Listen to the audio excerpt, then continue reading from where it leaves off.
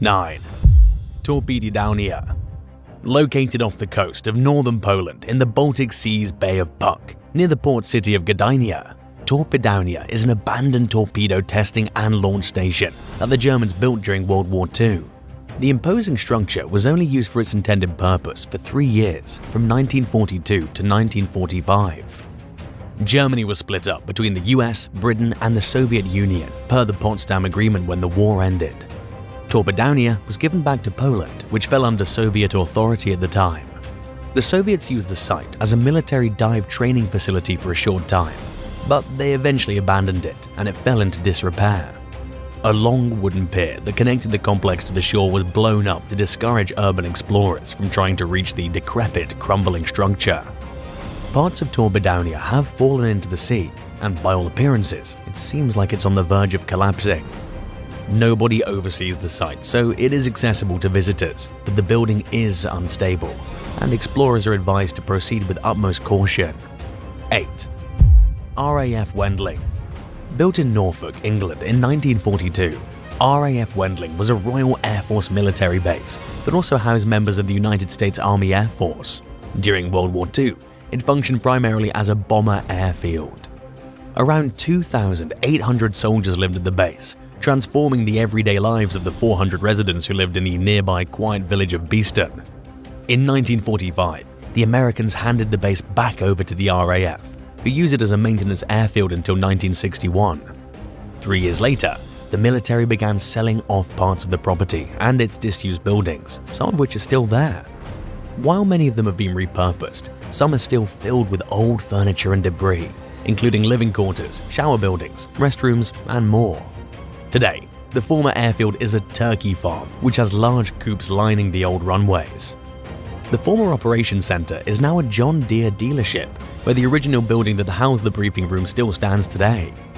A used car part shop now occupies the former mess hall and recreation center, where soldiers once went to eat and visited the cinema. Another sports and recreation site has become a fruit canning plant. 7. The Wolf's Lair Wolfsschanze, or the Wolf's Lair, was one of Adolf Hitler's many top-secret headquarters located near the Eastern Front. It was built in the Masurian woods of what is now Kętrzyn, Poland starting in 1941.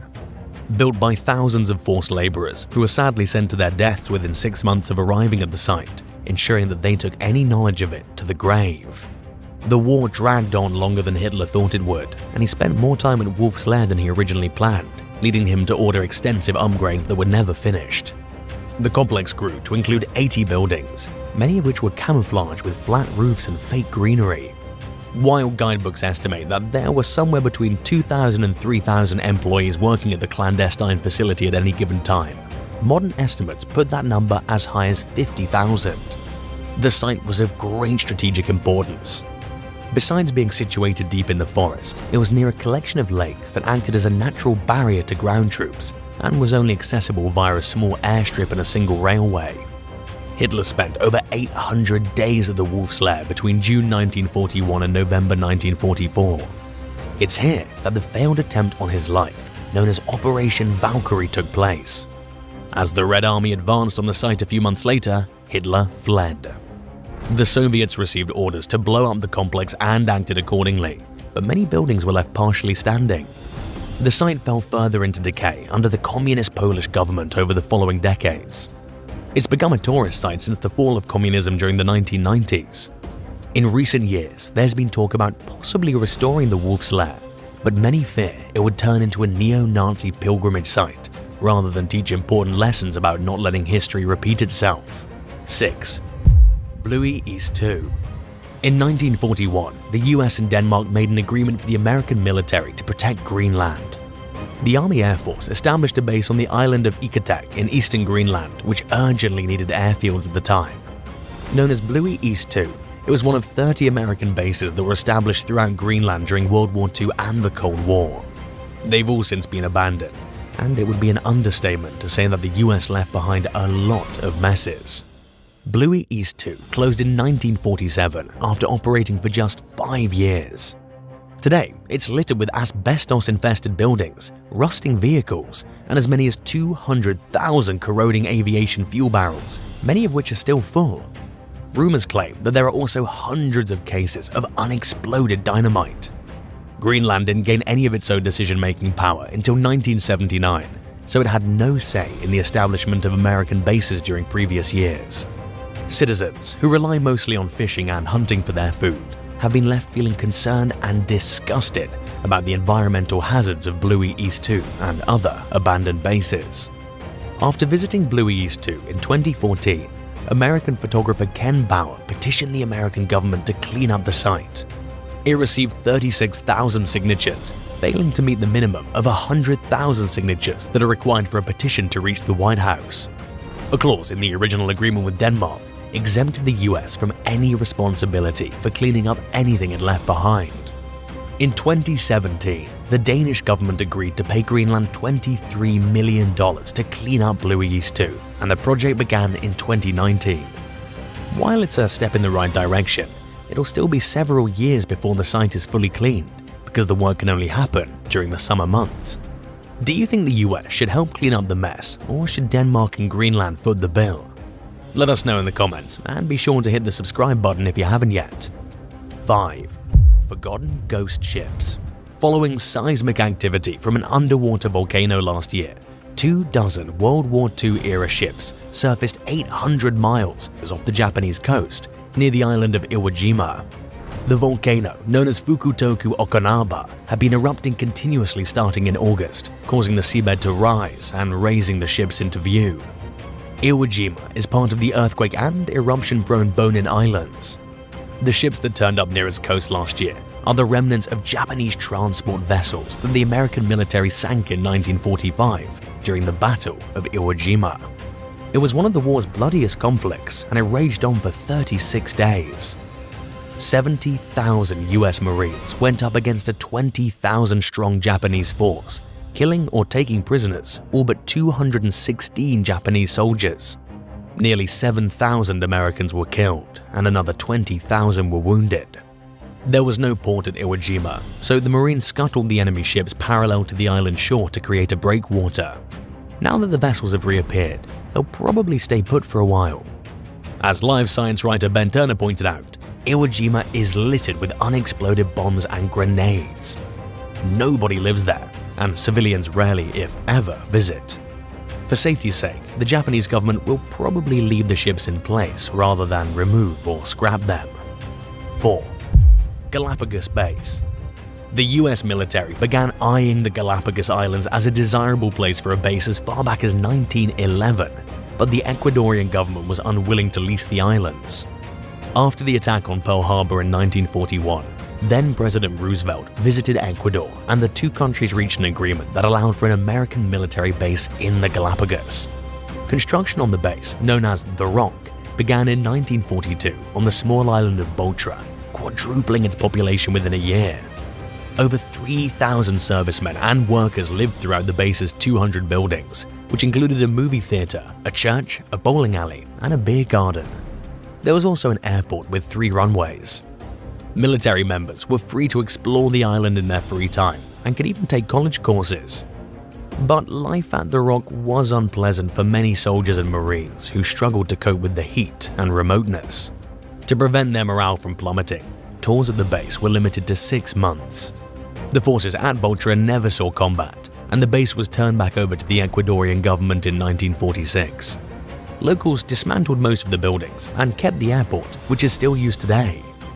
But the foundations of the disused buildings are occasionally seen on the island, and other remnants of the former military presence can be seen at the sites of former outposts on surrounding islands. For example, in 2010, fishermen found a cache of bombs on Bartholomew Island, where soldiers performed target practice and other exercises. In San Cristobal, there are anti-aircraft cannons that can still be seen today, and there are old supply barges in the waters off Santa Cruz. 3. Berlin Olympic Village. Shortly before the Nazi Party's rise to power, Germany won a bid to host the 1936 Summer Olympics. Seeing the event as an opportunity to spread propaganda, Adolf Hitler oversaw the construction of a luxurious village in Wustermark, just outside Berlin. It provided around 4,000 athletes with unusually upscale accommodations including top-of-the-line training facilities, living quarters, dining areas, and a swimming pool. Hitler commissioned the site's design based on his vision of a village of peace, yet he intended to eventually use it for the German army during his ruthless conquest to dominate humanity. And that's exactly what he did. Throughout World War II, the site functioned as a training academy and hospital. The Soviet army took over the base in 1945 and remained there for nearly 50 years until the early 90s, when the fall of communism prompted the site's abandonment.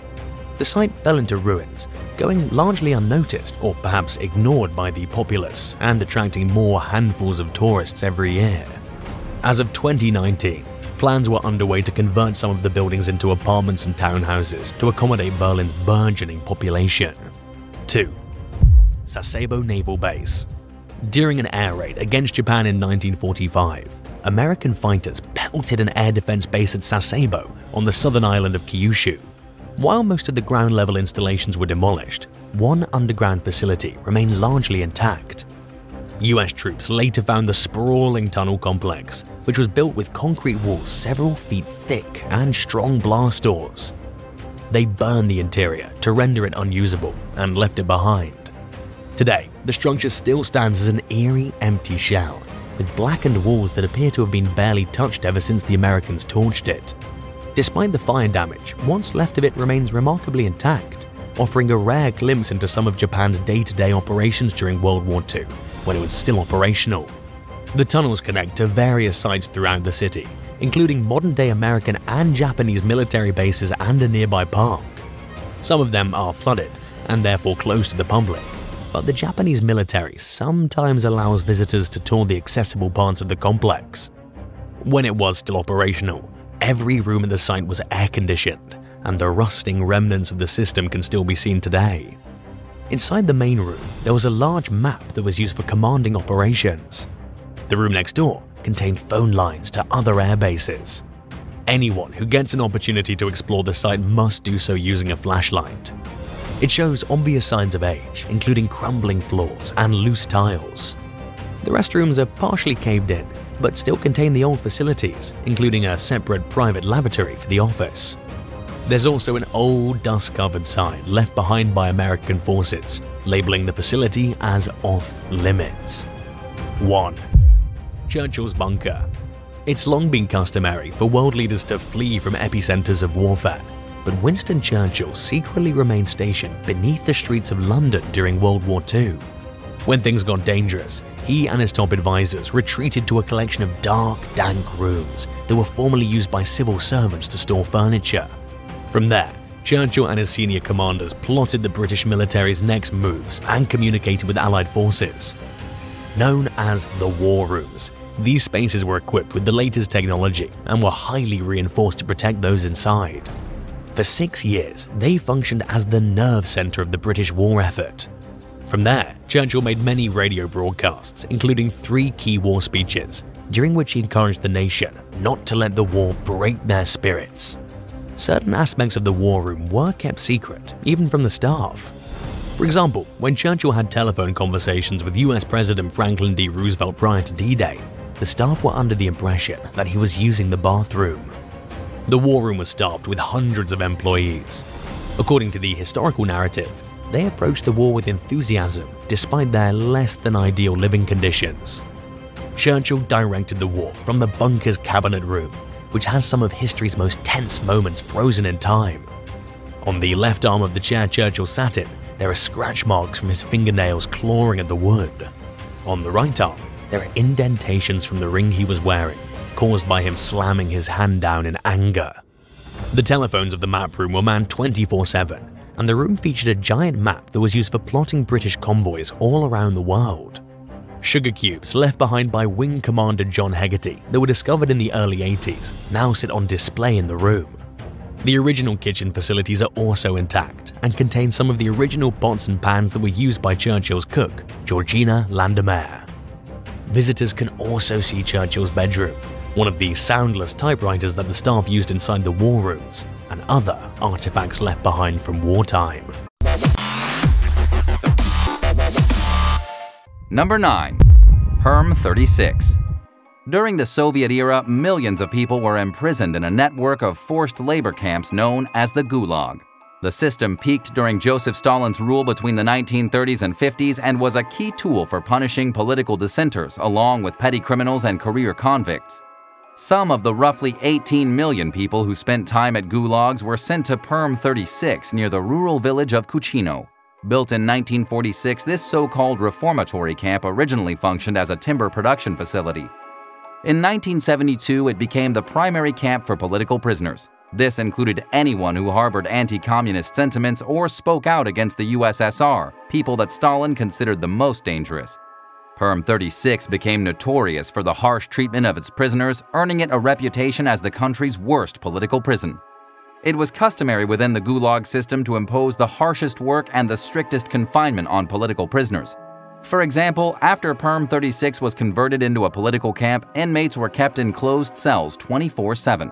The prison closed in 1987, making it one of the last Soviet prisons to house political dissidents. It's also one of the few former gulags that are still standing after most were destroyed by the time the Soviet Union fell.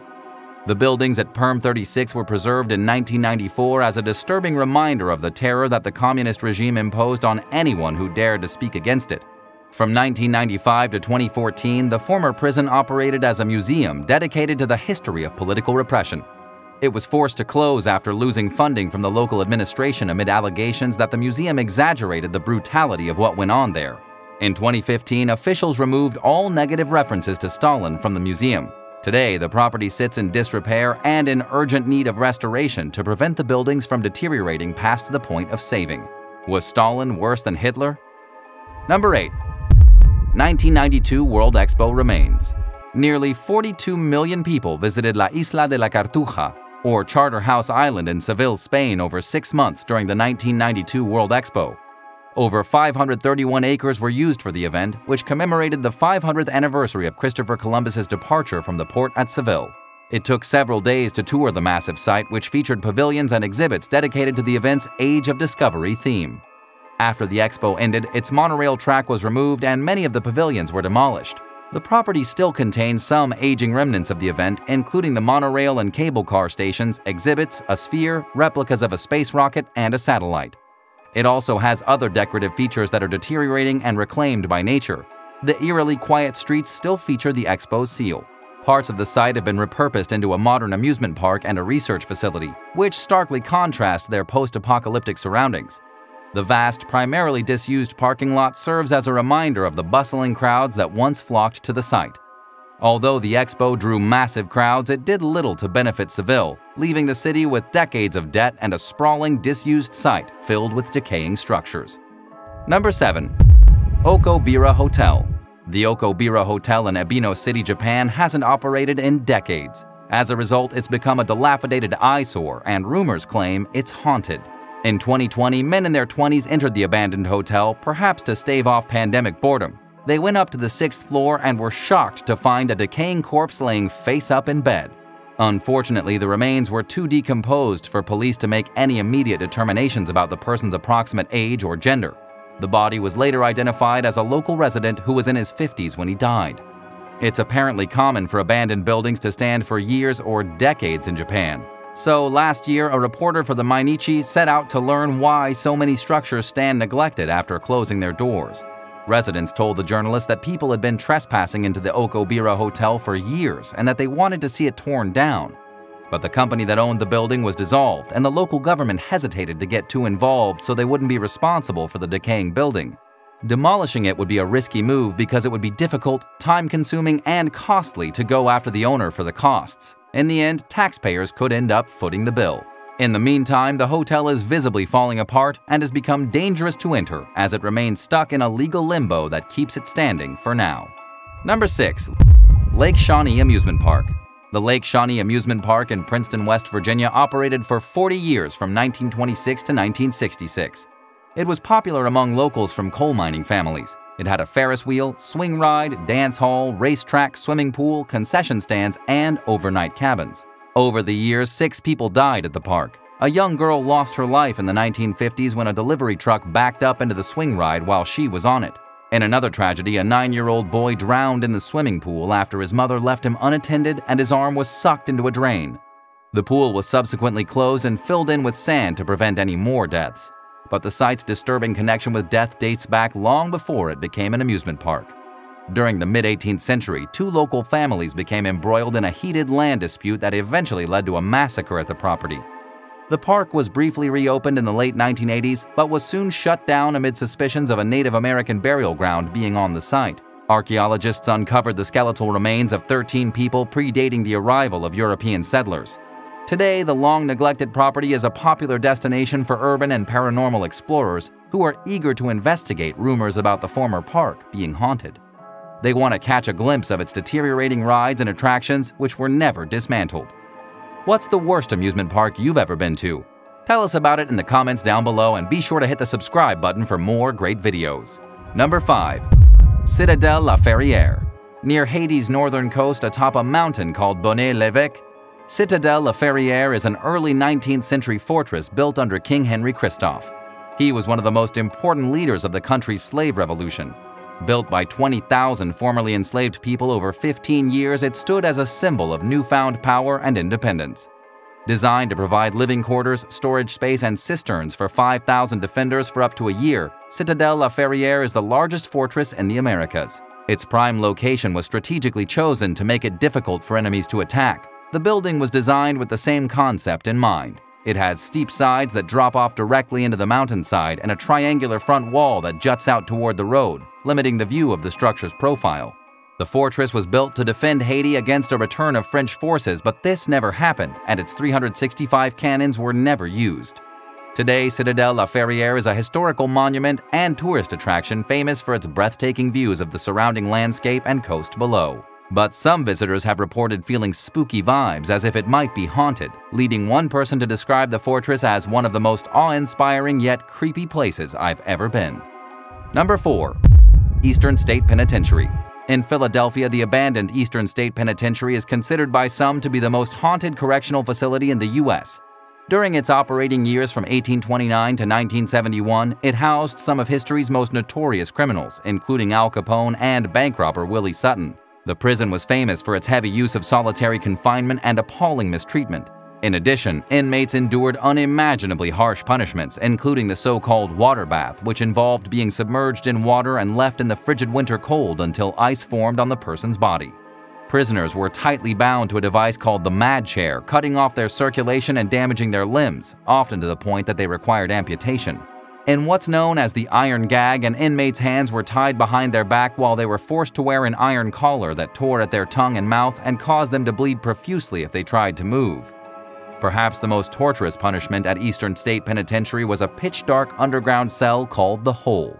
It took sensory deprivation and solitary confinement to a whole new level, depriving prisoners entirely of human contact and the most basic amenities. There was no toilet, and the cell's occupants received very little food while they languished in the dark, losing their sense of time and their grip on reality.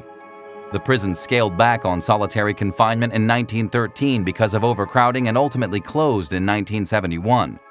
Ever since then, it's been a popular attraction among history and paranormal enthusiasts. Stories of hauntings date back to the 1940s and bear eerie similarities, with certain parts of the prison being known for specific supernatural activities. In Cell Block 12, for example, visitors, staff, and inmates have all reported hearing echoing voices and laughing, while ghostly faces are known to grace the halls of Cell Block 4. As Ben Bookman told National Public Radio, tour guides are not so quick to label the site as haunted. He explained they don't want to exploit the prison's dark image and pointed out that the prisoners who suffered there were real people and that it's important not to make fun or glorify their experiences. Number 3. Hotel del Salto the Hotel del Salto was built in 1923 as an upscale residence for architect Carlos Arturo Tapias in San Antonio del Tequendama, Colombia. Also called the Mansion of Tequendama Falls, it sat perched on a steep cliff overlooking the breathtaking nearby waterfalls that the area is known for. The mansion featured tall windows and other luxurious aspects of French architecture that were popular among society's upper crust at the time. It became a hotel for wealthy travelers in 1928 and remained in business until the early 90s when it was abandoned because of contamination of the nearby Bogota River. Plans to build an 18-story structure in its place never came to fruition, and over the following years the building fell into disrepair. After the hotel closed, the property gained notoriety for the alleged string of suicides that happened there, leading to rumors that it was haunted. But the site was no stranger to death by the time the suicides started happening. Local legend holds that the indigenous Muisca people jumped from the top of the 515-foot Tequendama Falls while fleeing Spanish conquistadors, and that those who made the leap turned into eagles during the descent and flew to freedom. Some believe that the story may have inspired some of the people who took their own lives to do so at Tequendama Falls. In 2013, the building was renovated and reopened as a science museum by ecologists from the National University of Colombia's Institute of Natural Science. Number 2. Raynham Hall in Norfolk, England, there's a 400 year old country house where the ghost of someone known as the Brown Lady is rumored to wander the halls. Known as Raynham Hall, it was built over 15 years, starting in 1622. Its most famous resident was a prominent early 18th century statesman named Charles Townshend. He married Lady Dorothy Walpole, the sister of Britain's first Prime Minister, Robert Walpole. Legend has it that Townshend, who was known for his volatile temper, caught Dorothy cheating on him with an English nobleman named Lord Wharton. To keep his wife from continuing the affair, Townshend is said to have locked her in various rooms throughout Raynham Hall, where she remained trapped until her death from smallpox in 1726. The first reported sighting of her ghost, nicknamed the Brown Lady, came in 1835 during the Christmas festivities at Raynham Hall. Two visitors claim to have seen her lurking in her old-fashioned dress as they approached their rooms. Another noteworthy sighting happened the following year when a paranormal skeptic named Captain Frederick Marriott asked to stay in the haunted room to prove that local smugglers were behind the strange activity at the property. Much to Marriott's surprise, the brown lady approached him with a lantern in hand and a malicious grin on her face. Then, right as he was about to pull the trigger on his pistol, she vanished. In 1936, Country Life magazine claimed to have captured a photograph of the brown lady. It became one of the most famous alleged ghost photos of all time. Many visitors have claimed to see the brown lady in the years since, while others still believe the supernatural presence is a fabricated tourist trap. What do you think? Number 1. Sensabaugh Tunnel Tucked into the Tennessee wilderness along narrow, winding roads outside the city of Kingsport, a disused, graffiti-covered tunnel sits on what was once a hill. Known as the Sensabaugh Tunnel, it was built during the 1920s when the hill was blasted apart to make way for a bend in the road. The tunnel was paved so that traffic could pass through it and supported the railroad tracks that ran above it. It was built on land purchased from a local family called the Sensabaughs, who lived in a nearby house and helped with the construction. During the 1960s, stories began to spread about the tunnel allegedly being haunted, and they continue to this day. At first, teenagers who hung out near its entrance reported hearing eerie noises, such as screaming and crying coming from within the structure. Not long after that, rumors circulated about a vagrant stealing a baby from the Sensabaugh home. Another story claimed that Ed Sensabaugh, the head of the household, went crazy and murdered his family inside the tunnel.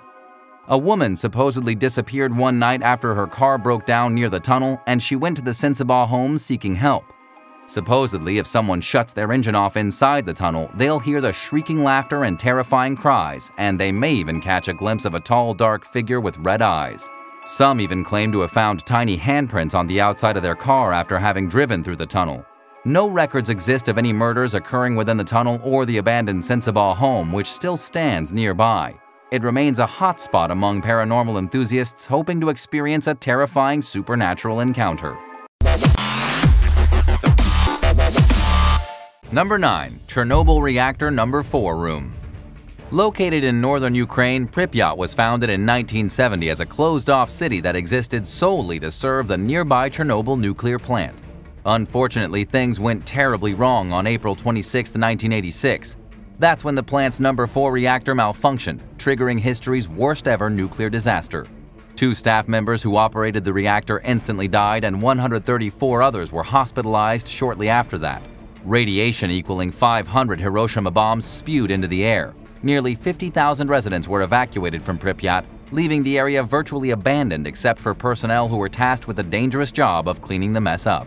The city's deserted buildings have been a popular attraction for quite some time, offering visitors a first-hand glimpse at a place left frozen in time. The Chernobyl plant has been less accessible to tourists in the past, but that's slowly changing. In late 2019, the control room for Nuclear Reactor 4, the one that exploded, opened to the public for the first time. Visitors could only gain entry by a guided tour and were required to wear a hazmat suit, a respirator, and a protective helmet. They also had to submit to radiation tests upon entering and leaving and could only stay in the control room for a few minutes. This was because the radiation levels remain dangerous to this day. It's unclear whether the tours are still running amid the ongoing COVID 19 pandemic and the Russian invasion of Ukraine. Is this a tour you'd like to take? Number 8. Patarei Prison. Near the old town of Tallinn along Estonia's northern coast, there's an abandoned jail known as Patarei Prison. It was initially built as a sea fortress around 1840 and began functioning as a prison during World War II. The Soviets used the site as a high security lockup from 1944 to 1991, during which time it earned a reputation as one of the country's most terrifying prisons. At any given time, there were hundreds of inmates at Patarei, including hardened criminals and political captives. They were subjected to brutal KGB interrogations and abuse, and many were executed. The prison was abandoned in 2004 when Estonia joined the European Union. It's open to the public as a museum, but very little has been done to preserve or restore the site. Visitors see Patarei precisely as it was left, along with the effects of time and the elements. Some cells still contain books, magazines, and other personal belongings left behind by prisoners. Estonian Canadian sisters Lisa and Kristen Dobbin visited Patarei prison during a quest to learn more about their ancestral heritage. They likened the facility to the setting of a Stanley Kubrick film, describing it in a blog for Estonian World as a dark psychological thriller about loneliness and lives misspent. The sisters also reported feeling overwhelmed with dread and anxiety during their tour. One of Patarei Prison's most disturbing features is its operating room, which carries a distinctive unpleasant odor and still contains an old bedpan, glass bottles that once held medical fluids, and obsolete equipment. Number 7. Geamana Located in Romania's Apuseni Mountains, the Rosia Poieni mine was once Europe's second largest copper mine, employing around 500 people at its peak. It was established during the first half of the 20th century after copper deposits were discovered nearby the village of Geamana. Nearby residents' lives were turned upside down in 1977 when representatives of the then dictator Nicolae Ceausescu showed up and told them they had to pack up and leave. Engineers needed somewhere to dump toxic wastewater from the copper mine, and Geamana was chosen as the place for it. Villagers were offered $2,000 for their properties and were told that they would be moving to a town close by. But the government failed to keep most of its promises, and between 300 and 400 families were scattered throughout the country. Authorities also failed to move the graves of Geamana's deceased residents as promised. The village was replaced with an artificial lake filled with hazardous sludge and runoff from Rosia Poieni. It contains dangerous chemicals, including cyanide and other substances, which have turned the water a bright red color. The only visible remnant of Geamana is a church spire that juts out eerily from the lake's surface.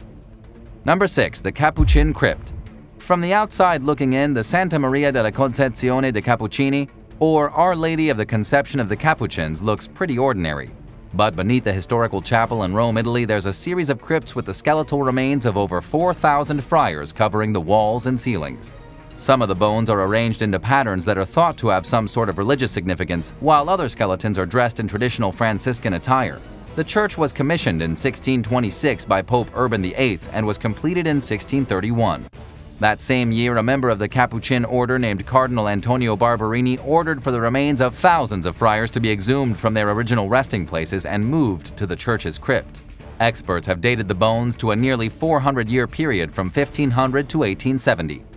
There are five chapels in the crypt, and they rely exclusively on a very limited supply of natural light, effectively adding to the site's eeriness. Several noteworthy historical figures have visited, including the Marquis de Sade and Mark Twain. It's also said that the crypt inspired other famous skeleton-covered sites throughout the world, including the Sedlec ossuary in the Czech Republic and the Skull Chapel in Poland. If you visited this crypt, who would you take with you? Let me know in the comments. Remember to subscribe to the channel to see more videos like this one. Number 5. Plymouth the former town of Plymouth once served as the principal port for Montserrat, a British overseas territory located in the West Indies. It sat in the island shadow of the Soufriere Hills volcano, which was dormant for centuries before it suddenly erupted again in 1995. Plymouth was quickly buried in mud and ash, earning it the nickname Pompeii of the Caribbean. The eruption killed at least 19 people and destroyed the island's major airport as authorities rushed to evacuate around 4,000 civilians. Today, Plymouth remains encased chiefly in ash. Partially buried buildings and cars still line the streets that many people had known their entire lives. This was before they had to leave one day with almost no warning and start over elsewhere. There's very little grass or vegetation, giving the ghost town an eerie post-apocalyptic feel. It's easy to tell just by looking around that something terrible and unexpected happened there. Some parts of Plymouth were damaged worse than others. For example, the only remaining visible remnants of a neighborhood called Amersham are the tops of the only two buildings that weren't completely buried. When pyroclastic flows barreled through the streets, everything was left in ruins. But even in the less damaged settlements, the electrical and plumbing infrastructures were utterly destroyed, leaving the entire area uninhabitable. The disaster triggered a mass exodus. About two thirds of Montserrat's residents ended up leaving and never returned, and by 1997, its total population had dwindled to fewer than 1,200. In addition, the island's economy was hard hit, mainly because Plymouth was its largest city and tourist attraction. Volcanic activity has quieted dramatically in recent years but still continues. As a result, Plymouth and several other abandoned towns are surrounded by an exclusion zone where nobody's allowed to live and almost nobody is allowed to visit. A new port and settlement are being built in the northwest section of the small island, which measures just 10 miles long and 7 miles wide. But spending the money to build a city as big as Plymouth is unrealistic, and it's unlikely that Montserrat will be restored to its former glory. Number 4. Memorial Mound Clyde Booth was a gravedigger who dreamed of providing the public with a unique alternative to traditional burials. He turned this vision into a reality in 1992 when he opened an underground mausoleum in Bessemer, Alabama called Memorial Mound. The unconventional resting place sat 8 feet below the ground, built into a hill, it had a visitors area that contained a chapel and a computer that visitors could use to view pictures and videos of their loved ones. It also had a marble wall where people left items in memory of the deceased who were laid to rest there. Behind the marble wall, there was a warehouse-like room filled with metal racks for holding caskets. In this area, which was off limits to the public, coffins were stacked up to 10 feet high. The lower slots came at a much higher cost than those near the top. Booth's unique idea didn't attract as many customers as he thought it would, and only a handful of these spaces were ever filled. So he closed Memorial Mound in 1996 after selling less than a dozen burials over a four-year period. Relatives were allowed to continue visiting the mausoleum until 2000, when the building permanently closed its doors. The site soon fell into a sad state of decay. Vandals looted it for scrap metal and left it in disarray, while curious urban explorers broke in to have their own look around. Photos of the dilapidated property that surfaced in 2014 showed broken glass, embalming supplies, display caskets, and decaying skeletal human remains, including at least one body and an open coffin. Authorities had known about the building's neglected state for a while, but the images finally prompted them to act. They increased security measures at the property and took the remains of seven people to the local coroner's office so surviving family members could make final arrangements. Sadly, some of the graves had been ransacked by then, and someone even took a human skull as a morbid memento of their trespassing adventure into the mausoleum.